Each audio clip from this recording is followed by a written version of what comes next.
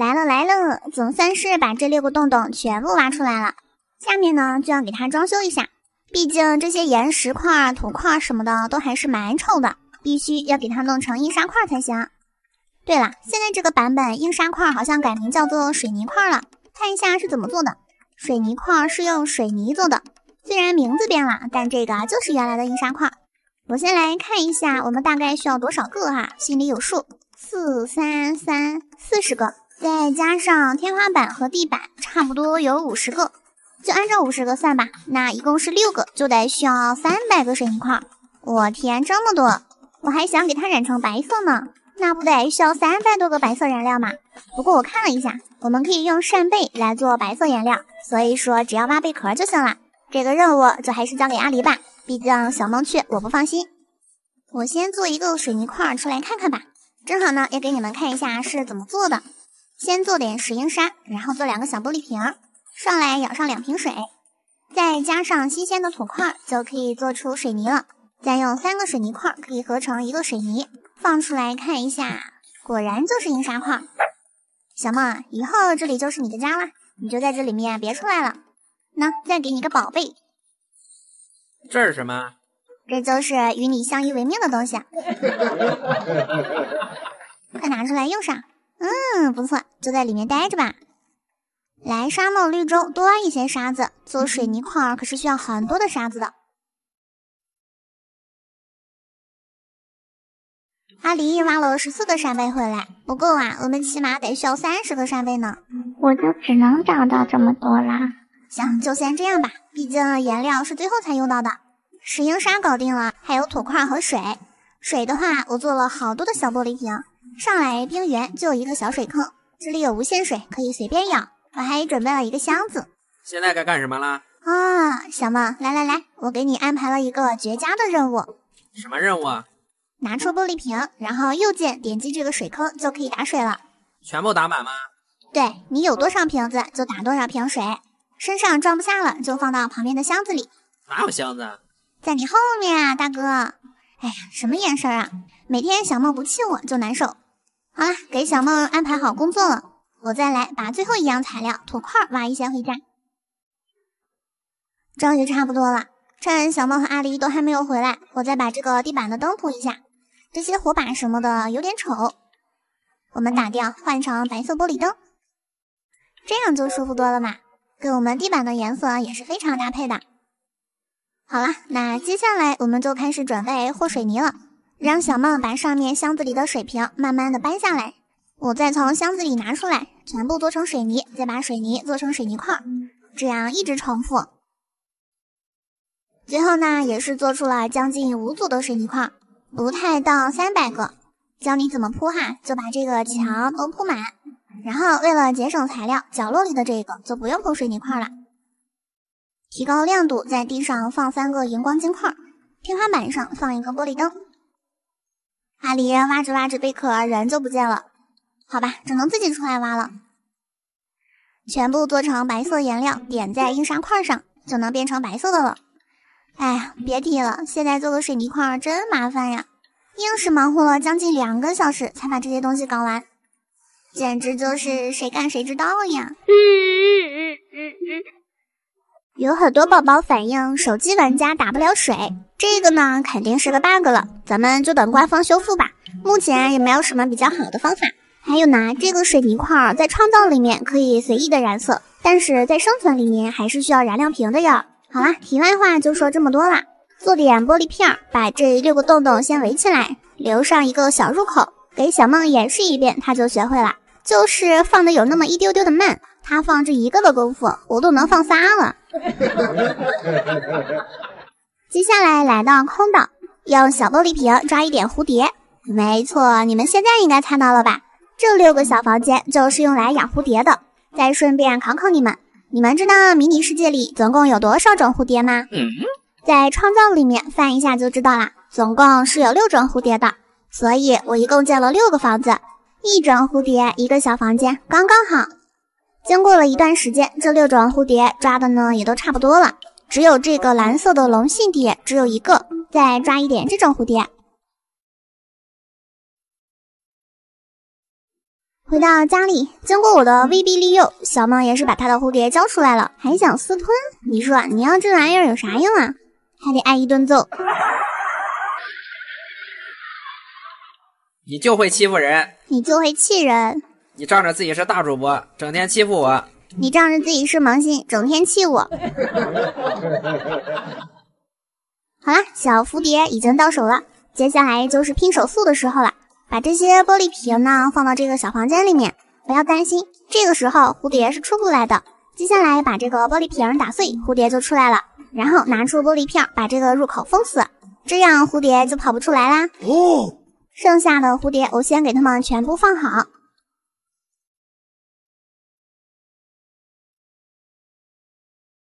然后一个一个的敲碎。最后一个是龙心蝶了，它最少了，只有六个。好了，这个蝴蝶监狱呢也算是完成一半了。接下来的话，我还有一个想法。就是把每一种玻璃片染成相应的蝴蝶颜色，比如第一个这个红色的蝴蝶，我们就染成红色。我这个红色好深呀，感觉都看不到蝴蝶了。哎，没事儿，就这样吧，意思意思就行了嘛。第二个呢是黄色，先出来找一点乔木果实。我觉得黄色是这个版本最难找的颜色了，乔木果实真的很稀少啊。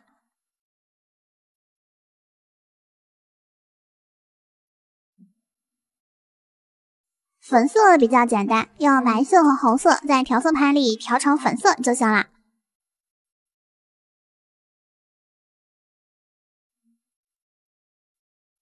接下来还有两种蓝色的蝴蝶，我们让小梦去蒙眼星找一点氧气果吧。回来了，找了三十多个，把氧气果做成蓝色颜料，然后再跟白色混合一下，就可以变成浅蓝色了，正好给这一种蝴蝶用。然后龙性蝶的话，它是有蓝色和红色的，红色已经有了，所以说我们这里就用深蓝色吧。现在就还差最后一种了，咱就是说，你这里面确定不造个景吗？有点单调。呃，这个问题我倒是没有考虑过，不想造景了，太麻烦了吧？我们这个空间也比较小，哎呀，就这样吧。最后一种蝴蝶呢，有点紫红色的意思，先用蓝色和红色可以调出来紫色。家里的野果库存终于是宣告不够了，让他们两个出去帮我弄点野果，我在家干点杂七杂八的活，把这个牧场的门换成双子星的。现在这个 bug 已经修复了，终于能把这个丑丑的木窗换掉了。还有两边农场的这个门框也给它镶好。接下来是牧场入口的上方，我想在这里搭建一个爱心的图案，就用卡丁猫方块和白色玻璃灯。正好他们两个也回来了。嗯，怎么样，家人们，好看不好看？我们再做成红色颜料，跟紫色混合成紫红色。终于，最后一种蝴蝶的颜料也凑齐了，六个圈养蝴蝶的小房间也算是彻底完工了。你俩怎么长一样？我都认不出来了。看在桃子这么努力的份上，大家就帮桃子点点赞吧。下期见哟，拜拜。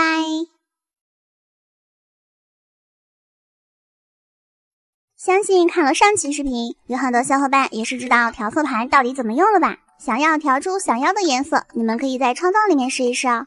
再来点粉色，把二楼的这个窗户染一下，再做一点薄板和栅栏，把窗户的外面装饰一下，样子呢就是这样的了。好啦，赶紧开始今天的正事吧。版本更新之后呢，这个变弹枪也是可以做了，现在已经不需要性能阻隔器了，所以我屁颠屁颠的来到蒙眼星挖两颗紫银石。回到家，成功做出了变身枪，太棒了！我们这个种树厂做出来都好久了，可算是能驯野人了。我的巫术鼓槌都准备了好久了，再拿上篝火和生肉，趁着月黑风高来驯一些野人。我们要的是砍树的樵夫，所以说驯野人就行了。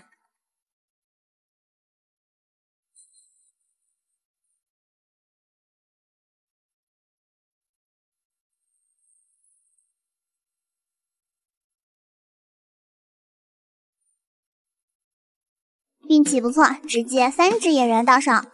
接下来就是不停的寻找野人，给他们喂肉吃，让他们蹦蹦迪，吃吃饭，倒地就可以进化了。也是很快，两个晚上就已经把十个野人搞到手了。最后一个，迫不及待的回到我们的种树场。小梦，我跟你说哈，从今天开始，你进出种树场可要随手关门了，不然他们会跑出去的。我想问你，这个地方是干什么的？留着给我面壁思过的？啊，对对对，要是惹我生气了，就把你关在这里面。来吧，要到赐名环节了，揭晓答案的时刻到了。哎，对了，你说我们要不要先备份一下呀？如果野人的名字不好听，我们还可以还原一下。还能这样？对呀，厉害吧？好，好，好，一定要训几个熟人出来。先把他们放出来再说。来来来，小梦，准备开始啦！第一个胖啾，胖啾，有没有人改名叫胖啾的？抓紧了。第二个壮壮，这个名字听起来就很壮实。嗯。第三个鸡冠头，腊肠。第四个福运。这名字多好啊！大家快改。第六个羊肉串，第七个香菇。哇，全是吃的。这些的我都饿了。第八个是露比，英文名字。第八个栀子花，第九个玉兰，这两个都是花的名字。最后一个了，哎，它刚好站在这个旗子的位置，点不到它。来吧，最后一个玛雅。玛雅，玛雅，这名字好记，玛雅！好了，十个野人起名完毕，我觉得质量还是不错的。不过呢，备份都备份了，再来一次试试看。第一个布尼，第二个大头，这名字大头儿子。第三个迪迪，第四个穷。哎呀，这次都是人名啊！确实啊，好多英文名呢。第五个君子兰，第六个露露。露露这个名字好啊，确实，这个名字还是挺可爱的。第七个星儿，星儿，我相信很多粉粉的名字里都带星吧，这个名字不错。第八个铁板烧，第九个蜗牛，最后一个啦，乔治。第二批的名字呢，有很多动物和植物的名字，还有很多英文名字。我感觉还是第一批的名字比较好听，我们就还原成第一批吧。接下来就是给他们准备一些道具了。铲子他们用的其实不多，就做点铁铲子就行了。来上十把。哎，什么情况？这个铲子他们怎么不要啊？不会出现什么 bug 了吧？别吓我。哦，我知道了，好像必须要先给他们斧头才行。我先把这些铲子放到箱子里吧，再去给他们做一点斧头。因为他们要不停的砍树，所以这个斧头我们最好给他们钛合金的，比较耐用。如果用铁斧子的话，估计没过两三天就要给他们重新做斧头了。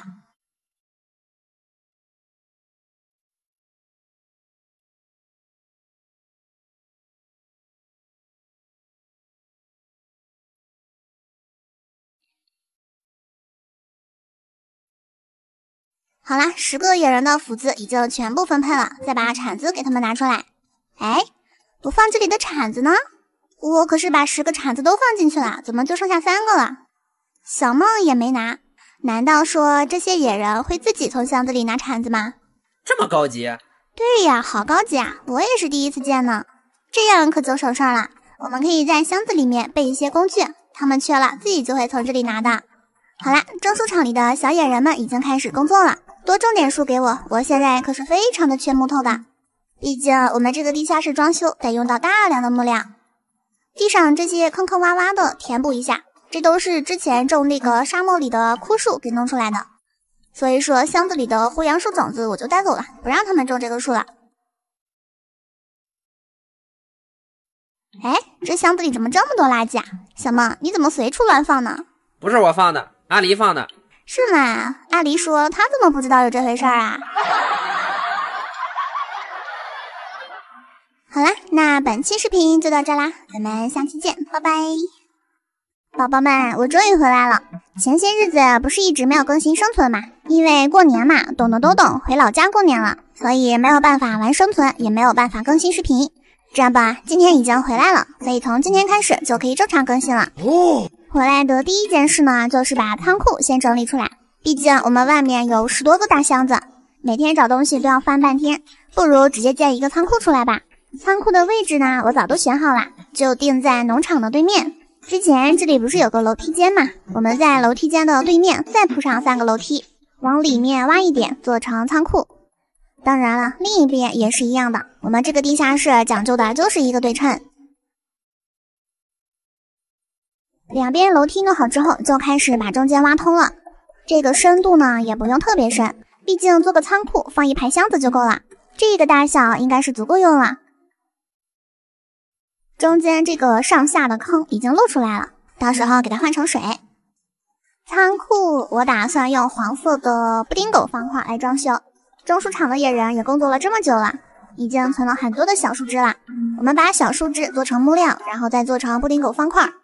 虽然我们有十个野人，但是砍树的速度还是比不上消耗的速度。谁让这个三丽鸥的家具这么贵呢？再做上一大堆箱子，放到这个墙上。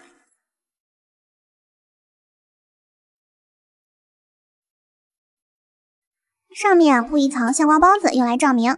这个颜色无所谓啦，随便什么颜色都行。因为上面还是要放字牌的。为了这个仓库，我可是特意花了一千四百四十个豆解锁了布丁狗字牌呢。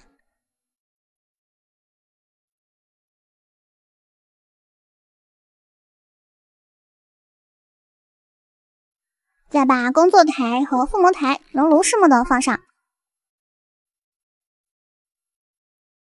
再来到沙漠绿洲，把硫磺金沙挖掉。因为建了仓库的原因，所以说我们这个楼梯打算用水楼梯了。正好一边是上，一边是下。小梦在上面放水呢，左边已经放好了，接下来就是右边了。再来到出口的地方，用方块给它挡一挡，不然被撑起来会掉血的。最后放上字牌。哎，怎么样？你们看这个部分像不像那个蜗牛的眼睛？好像呀。接下来就要给字牌写字了。来吧，来吧，开个单人房，开始给我们的仓库题字。首先呢是这两个小蜗牛的眼睛，一个写上，一个写下，这里就用箭头来代替了，是不是特别的生动形象？接下来回到我们底下的仓库，这个仓库呢就还是那些分类啦，老样子，随便写一写就搞定了。看房，让小梦进来，看一下这个字牌的问题还在不在？哦，果然，小梦一进来，这个字就消失了。地图得重新上传一下才可以。那今天肯定是上传不了了，我们毕竟还要打素材的嘛，就打完素材再上传吧。还有上面这个小蜗牛变成星号之后，更像小蜗牛的眼睛了。哎，桃子，你看我抽了个永久皮肤，怎么样？多少钱抽的？我就抽了两次就抽到永久的了。我不信，你这运气抽两次就能抽到永久的，我明天看看你还有没有这个皮肤，不就知道了。哼，之前从珊瑚岛打劫回来的这个花盆，我们就放在仓库这里吧，当做装饰。熔炉放在中间的话，就把它挡住了。我们把熔炉往上移一格，这样就好了。接下来需要我干点什么？接下来的话嘛，咱这个仓库还没有装修完，得把这个地面还有天花板全部换成布丁狗方块，你就帮我挖地板吧。来到种树场，拿一点小树枝。说实话，我是真没想到十个野人都不够我这个木板的消耗速度，甚至我还帮他们一起砍树了呢。把这么多小树枝全部做成布丁狗方块。接下来呢，就是小梦一边挖，我一边铺，男女搭配，干活不累。好啦，经过我们的努力，整个仓库也变成黄色的布丁狗了。再把这个边边角角的方块挖掉。换成裂纹岩石砖，接下来就可以把地图上传了。Day two，这已经是第二天打的素材了。地图重新上传了一下，自拍就能看见字了。那接下来的任务就是把底下的这些大箱子里面的东西全部搬到仓库里去。阿狸也来帮忙了。经过半个小时，这么多大箱子总算搬完了。再来到里面，这个复活点就不用了吧，把它挖下来。星战的话，暂时先放在这儿。后面我们看看能不能找到一个新的地方给它放好。家里的野人比较多，为了防止出现什么意外，在小梦的要求下，我们来种一些风铃花，给野人做一点治疗包。到这个时候，我才想起来，我的规划里面没有给小花园留地方。所以说，我们要是建花园的话，建在哪里呢？哎呀，真头疼，到现在卧室都没建呢，得慢慢的把这个地下室一步一步装修好。好啦，那今天视频就先到这啦，咱们下期见，拜拜。嗨，我是桃子，在仓库的对面，我挖了一个小洞，打算在这里建一个小花园。花园呢不用很大，只种一些风铃花就行了。另外呢，先给仓库安一点灯吧。你们都说这个仓库有点黑，这个地下生存嘛，其实每个地方不安灯的话都会很黑的，就用点冰灯好了。然后这个仓库有那么一点点的拥挤，我们把靠近大厅的这面墙给它拆了一部分吧，到时候换成玻璃，看起来就能宽敞一点啦，还透风透光。怎么样，这下是不是好多了？哦，对了，大厅里的墙已经被我换成大耳狗方块了，但是那段素材找不到了。在地上和天花板上安上冰灯。这个仓库，桃子，这里怎么有个布袋？啊，种树场？不是吧？有个袋子，我拿走了。有人嘎了，袋子呢？袋子呢？我拿走了，已经。小梦，那个袋子里面都有什么呀？你看看，是不是有一个小桃桃？野人纪念品。啊，对，就是这个，给我，我看看。我去，真的有人嘎了，怎么回事？怎么过个年回来有人嘎了？有人嘎了呀，我看看是谁。桃子，这里还有一个布袋。啊，怎么又有人嘎了？在哪？在哪？这儿。啊，我去，真的是，嗯 嗯，我想哭。好好的，怎么会有两个野人死了呢？壮壮好像没了，壮壮不在了。壮壮，我的壮壮，还有一个是谁啊？玉兰也掉血了，肯定经历过一场大战。玛雅也没了，玛雅跟壮壮。嗯，我的壮壮跟我的玛雅，我的两个宝宝没了，怎么回事？谁干的？壮壮咋没了？我也不知道啊，可能是这个地方太黑了，刷怪了。我在旁边再放一圈冰灯。不行不行。为了再防止这样的状况发生，要不去弄两个保镖吧？行，快弄俩保镖。感觉没啥必要，保镖也会死。但是啊，保镖好歹还能保护那么一下下吧。晚上趁野人睡觉的时候点一下人头，看右上角这两个已经变成小骷髅头了，说明这两个已经嘎了。看了一下，就是壮壮跟玛雅没了，得训点新的野人替代他们，顺便再训几个保镖。做点巫术棒槌，但是风铃花不够啦。哎呀，看来还是先得把这个小花园给弄出来，种一点风铃花，绝对不允许这样的事情再发生了。小花园已经初步弄出来了，我又做了四个巫术棒槌。上一期不是有两个野人嘎了吗？我准备再重新训两个，然后再多训两个回来当做保镖。马上天黑了，我选择来到桃树林等待杀怪。但是，我从六点等到八点，那是一个怪都没有看见。现在这个版本又开始不刷怪了啊！我在这找了一晚上，凌晨三点的时候又来到了空岛下面，也是一个怪都没有，真是奇了怪了。天都亮了，回来继续装修小花园，然后等天黑的话继续来外面找怪。早早的来到空岛等着了，但是一个怪也没有。唯一的一个野人是在旁边的雨林里发现的。今天晚上就这么一只怪。最后呢，也是受不了了，选择来到矿洞里找怪。运气不错，直接找到了一个地牢，而且里面有两只野人，成功驯服一只。第二只吃了我的肉不倒下，本来想再重新给他放个肉的，但是这个傻野人把自己给烧死了。这智商也是没谁了。地牢外面又驯服了第三只，接下来就只剩一只了。但是矿洞里面已经找不到了，先回家吧。这个是从地牢里面找到的藏宝图，放进仓库里。三个野人就三个野人吧，先这样。做了两个守卫旗帜，放到合适的位置，争取把我们种树场的范围全部包括进去。然后把驯服到的三个野人放出来。又到了给野人起名字的时候了，先别急，我还是先把工具准备好吧。近战野人的话，就给他做一把小短剑。来了来了，第一个是绿波波。第二个叫克莱尔，第三个叫三三，三三就顶替原来壮壮的位置吧，你就当樵夫负责砍树，然后剩下的克莱尔给他小短剑，让他当保镖。绿波波也是，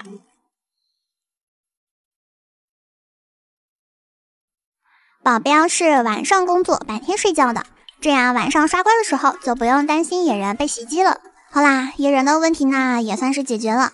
终于不用那么慌慌张张的了。那下面就把这个小花园再重新装修出来。可以看到，我花园里种的花是隔开的，因为我发现风铃花现在这个版本好像要占两格，所以分开种吧，这样不影响它们长大。阿狸在水底下放灯，我把旁边的墙给换掉，我们就用粉色的美乐蒂方块。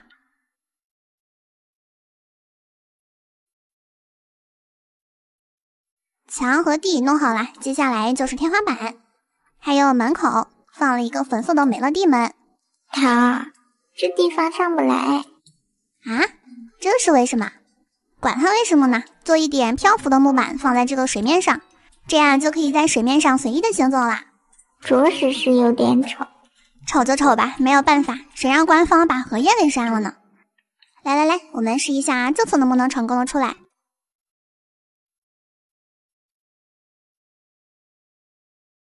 可以，没有问题，非常的通畅。小花园就暂时建在这里吧。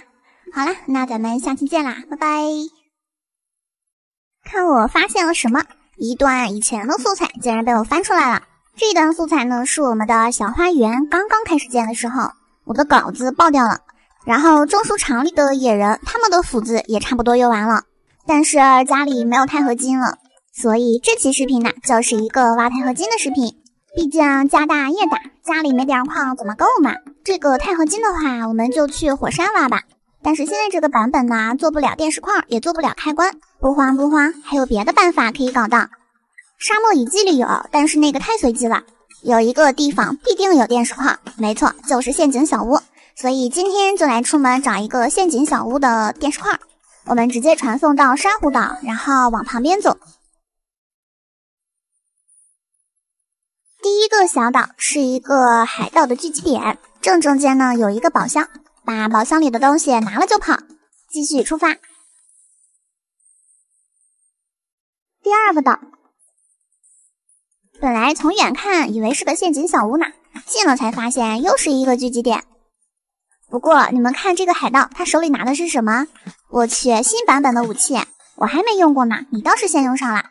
把这边的海盗先清理一下。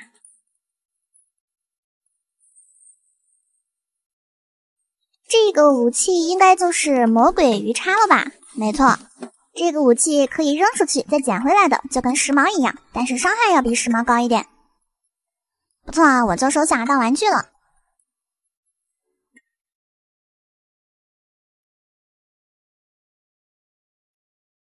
接下来第三个岛又找到了一个珊瑚商人岛，这个没啥用了，我们直接跳过。第四个，这个岛可算是大了，上面呢是有一个海盗船，把箱子里的东西拿走，继续继续。哎呀，我都在这找了快半个小时了，还没有找到。就在我快要放弃的时候，天无绝人之路，终于出现了陷阱小屋。这个电石块差点掉到岩浆里，吓死我了。终于到手了，那我们就来到火山，然后来到四十二层的高度，往里面挖。来火山挖钛合金，这个方法是跟黑夜大佬学习的。来来来，接一下小梦。你还挖了条秘密通道，你是不是有反骨？谁有反骨？你搞这个秘密通道是不是有什么秘密？啊，对对对，我就是把你骗进来，然后把你活埋了。我们就一直往里面挖哈，挖到什么地步呢？挖到出现了岩石，这个时候就不要挖了，拿出我们的水刀蓝图。最开始做蓝图的时候，我就做了两张一模一样的，等的就是今天。再放上两个电视块。好了，小猫进去挖钛合金吧，有多少挖多少。一个地方挖完了之后，我们再把水稻放到另一个地方。火山这么大，可以够我们挖好久呢。把阿狸也叫进来帮忙吧，两个人挖的好慢呢。小伙伴们猜一下，我们今天能挖到多少钛合金呢？Later，三个人挖了半个多小时。走走走，先回家，给你们看一下最后的成果。直接放到熔炉里面烧。左边的这个熔炉已经放了满满的三组，还剩下一组零十七个，放到右边的熔炉里。怎么样？这个战果还不错吧？将近四组半的钛合金，用了半个多小时，以后就能养得起它们啦，再也不会缺钛合金了。这个方法真好用。继续装修我们的地下室。我没想到这个地下生存系列受到很多小伙伴们的喜欢，桃子呢感到非常的开心。我也很喜欢这种把破旧的地下室慢慢改变成理想中的样子，这个过程真的是非常治愈啊！当然，要是没有那么干就更好了。今天做点大耳狗方块，把咱们农场给装修一下。以前呢是光种了地，然后这个地面和天花板什么的都没有换，用的还是原来的岩石。很多小伙伴已经忍不了了，让我换掉它。现在种树场里的木头已经有很多了，我们今天就把它换了。阿狸挖完地板之后就在这站着了，我提醒他一下，把那边的墙还有天花板也都换了。因为这个三流方块呢，阿狸和小梦两个人都没有解锁，只有我解锁了，所以说这个做方块的任务就落到我头上了，需要来回的去种树场搬木头做方块，再回来铺到这里。但是呢，没想到攒了这么久的木头还是不够用，家里的小树枝已经宣告破产了，没办法，让小梦再出去砍树吧。家里的木头全部用光了，然后第一个农场竟然都没有铺完。最左边这个吧，这个绿色看着比较舒服，也比较搭配。好了，就让阿狸把这边放上灯，我去另一边。这个地方阿狸挖了一个小走廊，可能是嫌来来回回的下楼梯麻烦，干脆在两个农场的中间挖了条通道，这样就可以直接过来了。这边的话也要全部挖掉。现在要想搞到非常多的木料，其实红杉树和雨林乔木这种巨型的树木是最划算的。出来找到一片红杉树林。砍一点树吧，还有很多小伙伴呢也发现了，最近阿狸不怎么来，对吧？原因呢我也放出来了，这是阿狸自己感到比较累，所以说他来的次数没有那么频繁，并不是说我故意冷落他，这是根本不可能的事情。相信过了这一阵，阿狸应该就不忙了吧？经过了两个小时的忙碌，我们差不多弄完了。走廊这里的灯还没有放，让小梦放。哎。我是不是眼花了？小梦刚才好像被雷劈了，是不是背着我做什么事情了？现在的农场看着是不是舒服多了？再也不用看着丑丑的岩石了。哎，我给农场一个特写，你在这凑什么镜头啊？小梦是不是想贴贴？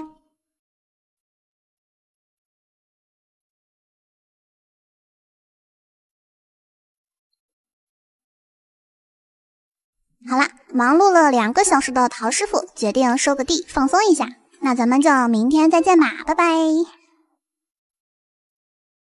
今天是元宵节，桃子在这里祝大家元宵节快乐，别忘了吃元宵呀。过了今天，明天就要开学了，大家的作业写完了没？没写完的可要抓紧了。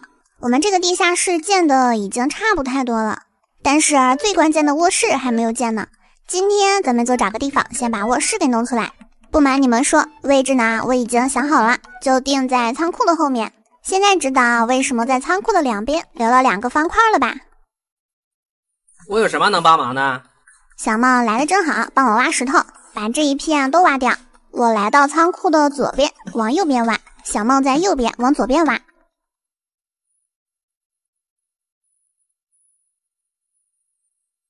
这样过了一会儿，我们就挖通了。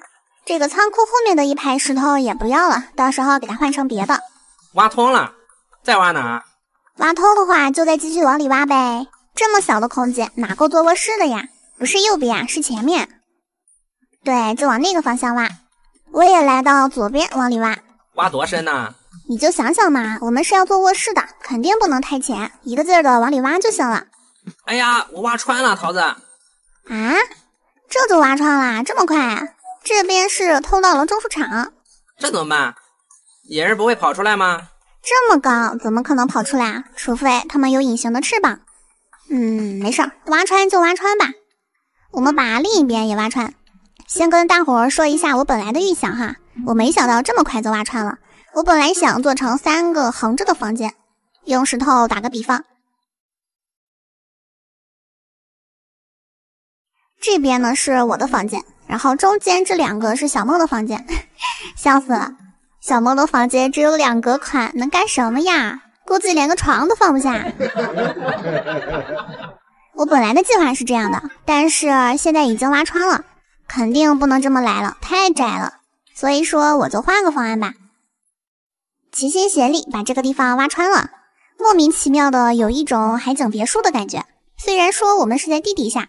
先让我把这个外边的方块挖掉，然后用紫色的库乐米围一圈。这个种树场既然挖穿了，我们就不堵上了，直接在这边放上一圈玻璃。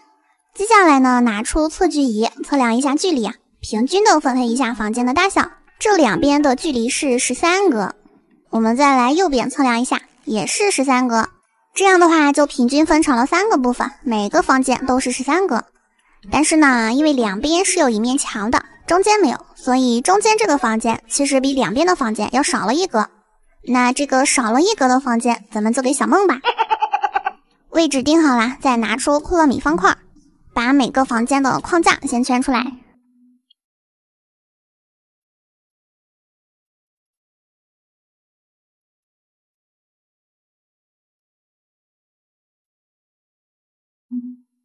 好啦，房间分好了，那就继续把玻璃围起来吧。本来用的是玻璃块啊，阿狸建议换成玻璃片，还省材料。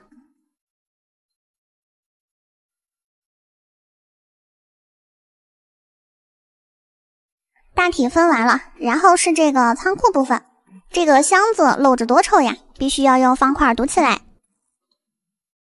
堵起来之后呢，我想想，小梦这个房间有点奇怪。到时候左边跟右边肯定都是要堵死的，那小梦这个房间就变成了一个监狱，没有门了。我想想，得给小梦开个门呀，开在哪儿呢？哎，不如就开在仓库这里吧，正好中间这个地方没有箱子。把工作台和这个祭坛挖掉，给他们换个位置啊，让我调整一下。附魔台挖掉，工作台放在这上面，然后这个附魔台的话，给它换个地方。哎呀，看了一圈也没地方了，不如就放在这个熔炉下面吧。虽然花盆会被挡住一部分，但是也没办法了，没有地方放了。就这样吧，中间空出来这两个给小梦放门，这样小梦的房间就有门了。来，给小梦做一个黄色的布丁狗门。来来来，小梦看一下这个门怎么样，还满意吗？怎么不是粉色？一个男生要什么粉色呀？不，我要猛男粉，快给我换成粉色。行吧，行吧，行吧！没想到小梦这么喜欢粉色，肯定是传说中的猛男了。满足你呀，做一个粉色的美乐蒂门，放到这里，怎么样？这个门够粉吧？小梦肯定喜欢。